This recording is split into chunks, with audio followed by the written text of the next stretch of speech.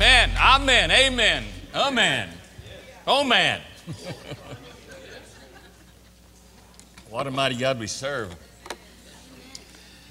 You have a Bible, right? Figured you'd get a little lazy, so I want you to open yours today. I'm not going to put it on the screen. Aww. You know, some of you don't carry Bibles. You got on your phone or your pad. As long as you're not playing Candyland or whatever, get it out. How should I know? Candyland, I played with my granddaughter. That's what that is, all right. Can you get it in an app? John 19 is where I want you to turn in the scriptures to. So we're going to be receiving, as Tim said earlier in our welcome time, that we're receiving the, the Lord's Supper today together in communion time. So as, we approach Easter, as we're getting near Easter, this is, I think, an appropriate week for us to share together and just get back focused about the Lord, the loss that was suffered there, and everything that was gained there as well. Amen. And uh, so I, I, want you to just put everything out of your mind. Jesus said, as often you do this, do this in remembrance of me. So we're going to look in John chapter 19. We're going to start with verse 16. It's a little bit lengthy of a read this morning, but I think that uh, you'll appreciate the written word as we share it together. So he then handed him over, Jesus, to be crucified. They took Jesus, therefore, and went out bearing his own cross to the place called the place of a skull, which is called in Hebrew Golgotha. There they crucified him. With him, two other men, one on either side and Jesus in between. Pilate also wrote an inscription and put it on the cross. It was written, Jesus the Nazarene, King of the Jews.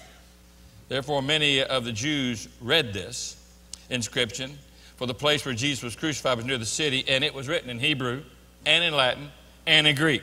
So everybody understands what it says. So the chief priests of the Jews were saying to Pilate, uh, Do not write the king of the Jews, but that he said, I am the king of the Jews.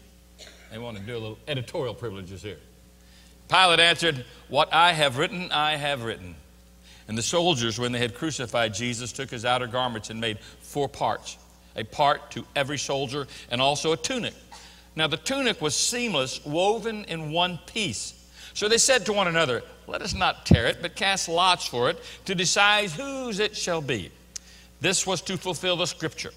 They divided my outer garments among them, and for my clothing they cast lots.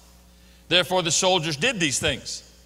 But standing by the cross of Jesus were his mother and his mother's sister, Mary, the wife of Clopas, and Mary Magdalene. And when Jesus saw his mother and the disciple whom he loved standing nearby, he said to his mother, Woman, behold your son. And he said to the disciple, Behold your mother. From that hour, the disciples took her into his own household. After this, Jesus, knowing that all things had already been accomplished to fulfill the scripture, he said, I am thirsty. A jar full of sour wine was standing there. And they put a sponge full of the sour wine up upon a branch of hyssop and brought it up to his mouth. And when Jesus had received the sour wine, he said, It is finished. And he bowed his head and he gave up his spirit.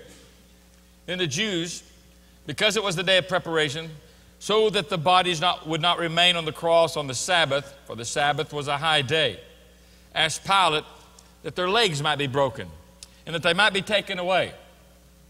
And so the soldiers came and broke the legs of the first man, and the other was, was crucified with him. But coming to Jesus, when they saw that he was already dead, they did not break his legs.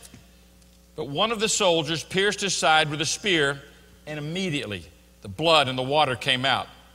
And he who has seen has testified. Now, catch this verse here. He who has seen has testified, and his testimony is true, and you know that he is telling the truth, so that you may also believe. For these things came to pass to fulfill the scripture not a bone of him shall be broken. And again, another scripture saying, They shall look upon him whom they have pierced. As you look at this passage today in John 19, it's just one of many places in scriptures where you, you see a crucifixion story told.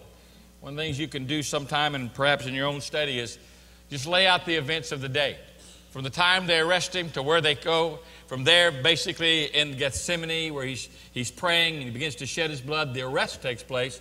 From there, they take him up to the palace, the high priest palace of Caiaphas and Annas, where he's questioned, pushed around, slapped, mocked, left in a pit overnight because they could not take him to the Romans until it was morning. Then they take him out of the pit, and they carry him up to Pilate. Pilate interviews him. From there, he sends him to Herod's house. Herod doesn't want anything to do with him. They mock him, crown him with thorns, send him back to Pilate, where he's scourged at 39 lashes.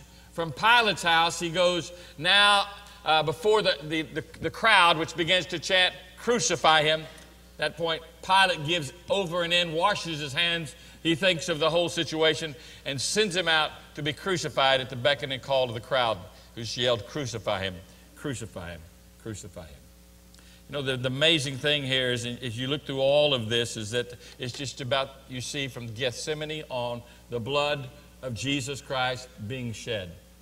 Someone said, you know, the, the Christian religion is a very bloody religion. It is, because if there's no blood, then there's no forgiveness. If there's no blood, you're yet in your sins, the scripture says. If there's no payment for your sin, then there's no hope. We were condemned. We have no, we have no life. We have no full life. We have no abundant life. We have no future. All we can face is judgment. All we, we have to look forward to is an eternity of damnation and hell and fire and brimstone. That's all there is for us if there's no blood. Because the scriptures make it clear because of man's sin. Without the shedding of blood, there's no removal, there's no remission of our sins. The blood had to be spilled on, on our behalf. And Jesus came, readily yields himself, and readily gives himself to the shedding of blood. One old preacher put it this way You take the Bible, you cut it anywhere, and it bleeds. And that's true from the book of Genesis, where sacrifice is being made the slaughter of an innocent animal being made for the sins of Adam and Eve. All the way through the Old Testament on to the New Testament, you see the blood and the message of the blood and the necessity of the blood because the wages of sin is death. Blood obviously signifies, and the shedding of that blood obviously tells us the story of death. Ephesians 1 7 says, Through him, that's through Jesus, we have redemption. Redemption forgiveness of sins. Redemption basically means to purchase something, to pay for it. Well, what was the price to be paid? What was being purchased? Well, what was being purchased was you and me. That's what's being purchased. You're, you're what Jesus died for. You're the reason. I'm the reason for the death of the Lord Jesus Christ. That's the reason behind it. What was the cost? The cost was the blood of Jesus Christ, the death of Jesus Christ. Again, if it's not his death, then it's your death. You have nothing to look forward to. There's no hope for you, there's no escape.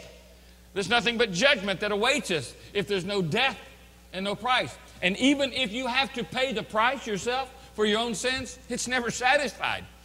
Because the judgment is an eternal death. I hate to tell you, there's no expiration on eternal. You know? It's just no, there's no point when you look up and say, oh, when does this expire? Uh, December 12th, 1999? No. There's no expiration date. So we're, we're condemned to suffer an eternal death because of sin.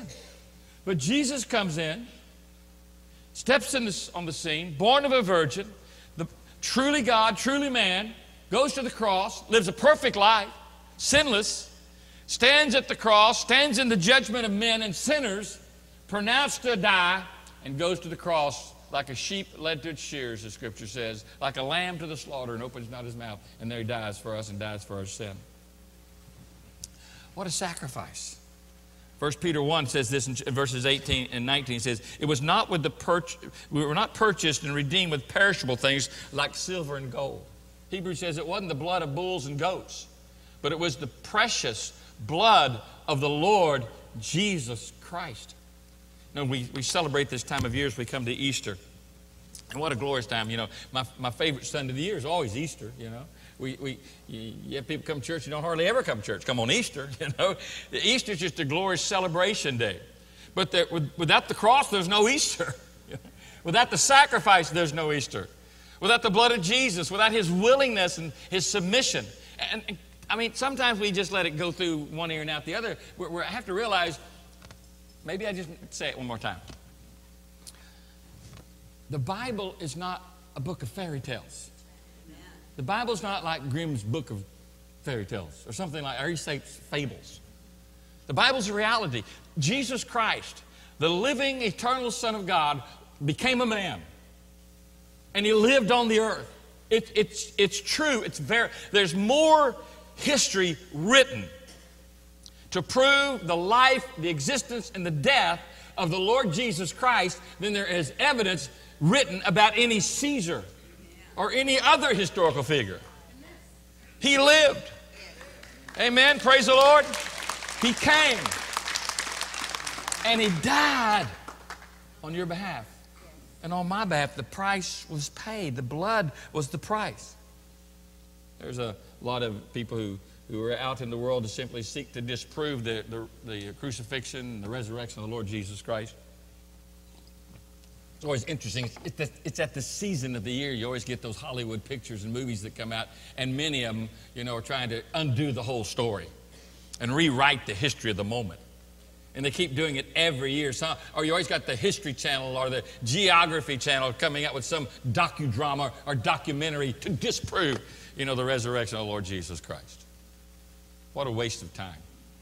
One young preacher told me, he said when, it, when he went to uh, Bible college at the first of his, his ministry, he, he had a philosophy teacher, which is pretty much an atheist, uh, to, to, to convince him that, seek to convince him that, that, Jesus really didn't die as recorded by the scriptures. He couldn't have died that way. It wasn't physiological, uh, uh, physiologically or biologically possible, as the description of scripture says. He, he said, What do you mean? He said, Well, if Jesus, uh, uh, when he was pierced with a spear, you know, water and blood shouldn't come out. You see, because when you die, uh, due to gravity, all the blood kind of starts settling down and usually settles around the waistline.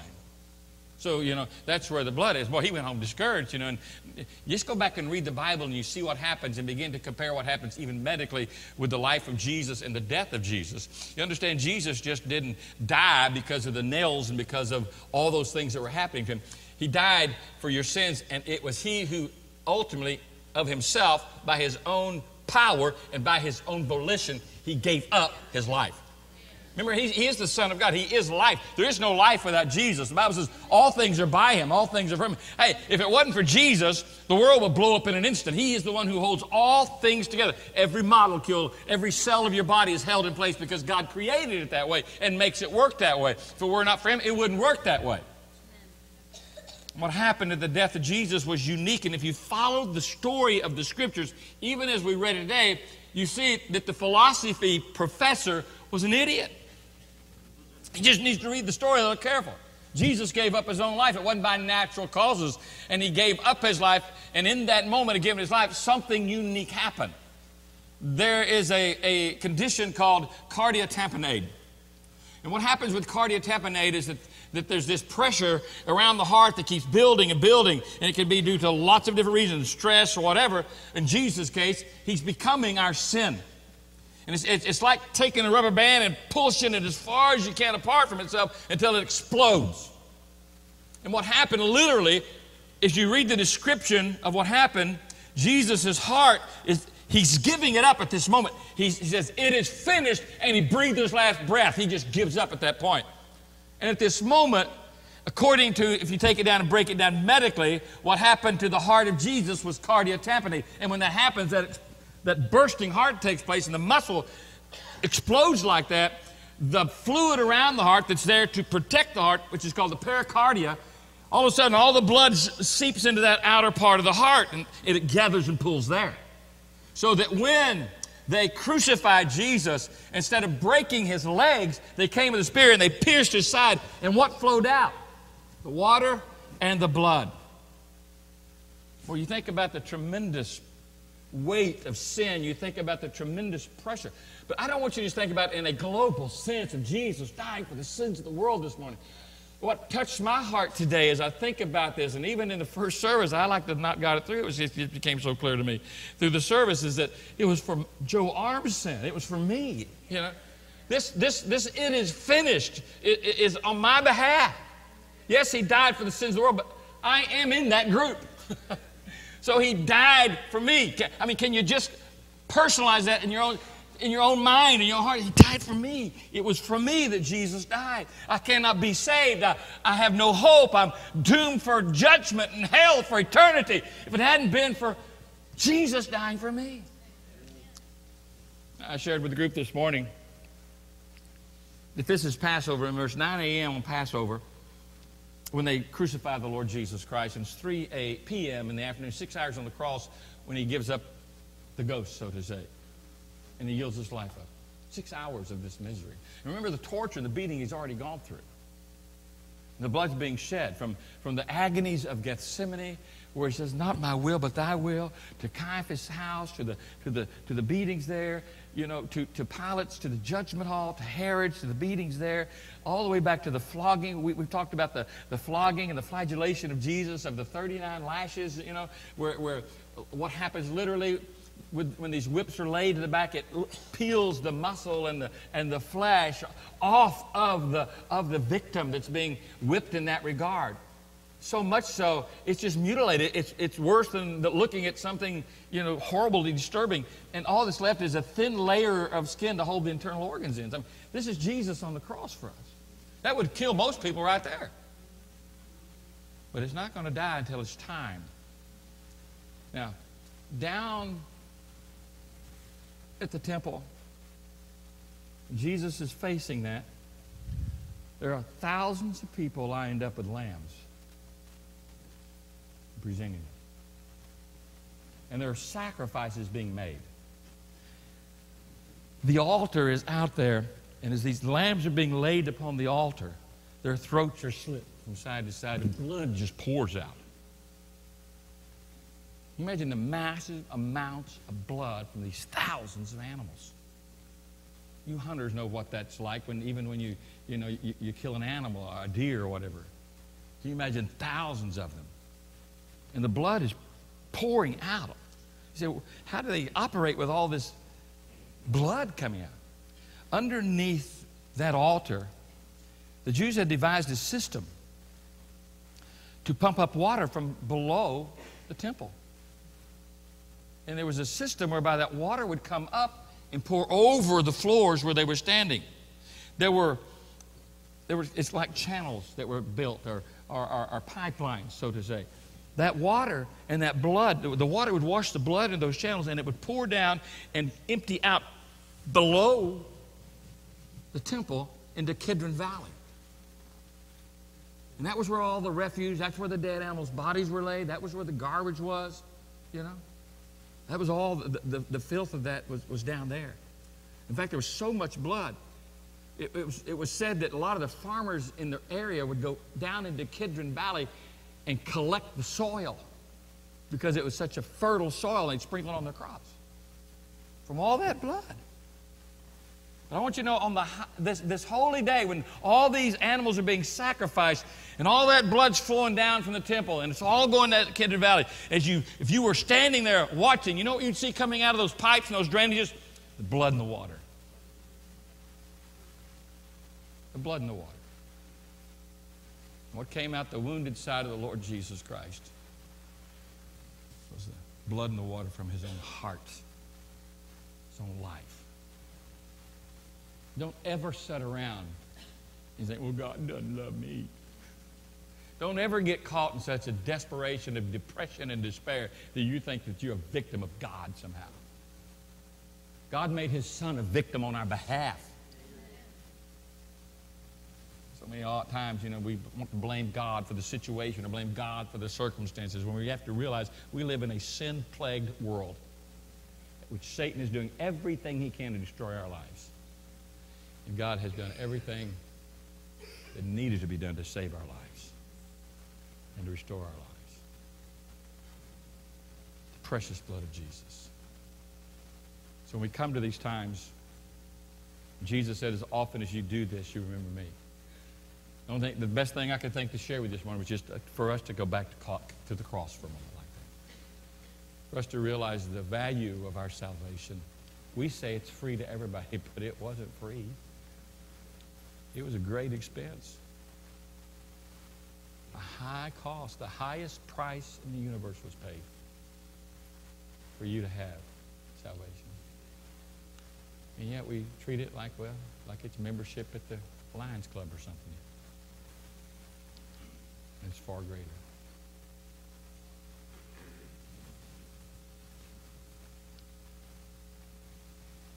Twenty-one when I gave my life to Jesus. And I've probably shared this before. messed up, empty, lonely, defeated, depressed, empty. No real friends that I had. A lot of people said they were friends, but no real friends. No real direction in my life. In and out of the party scene, in and out of the drug culture.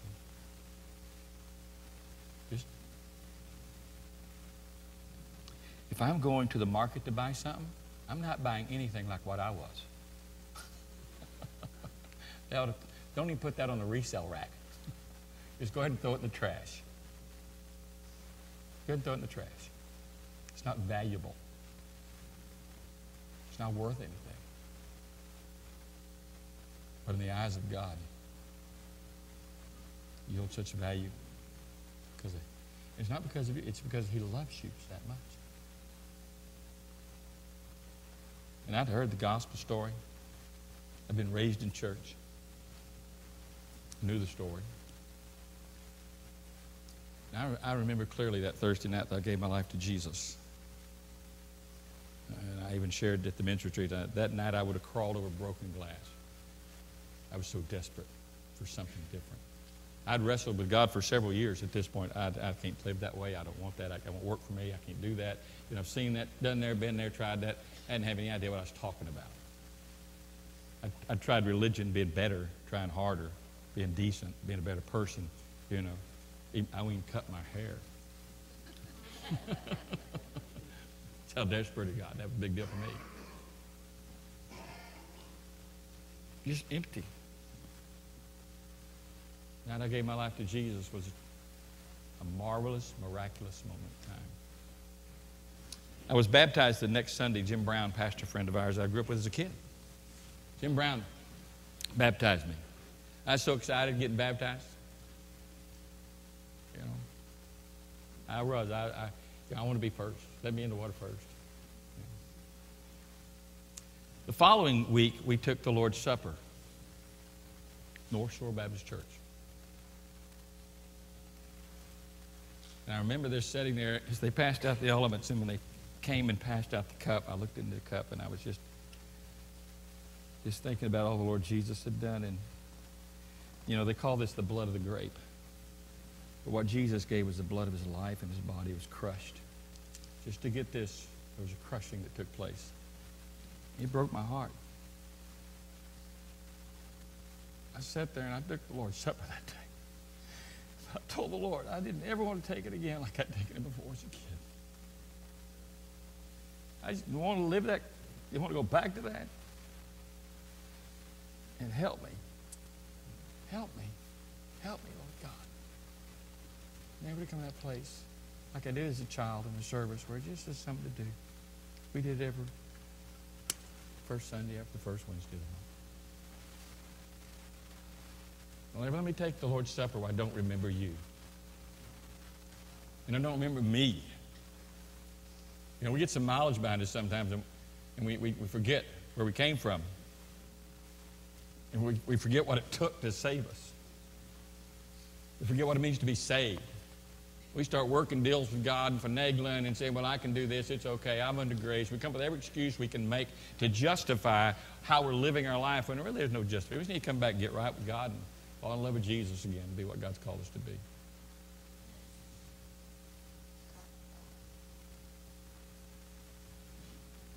So I would say today, with Apostle Paul, he said, You know, I received from the Lord this message about communion. And the night that he was betrayed, he took bread. And he shared the message with the Corinthian church about what the Lord's Supper meant, that it, it, is, it, is, it is symbolic. And the symbolism is, is weighty.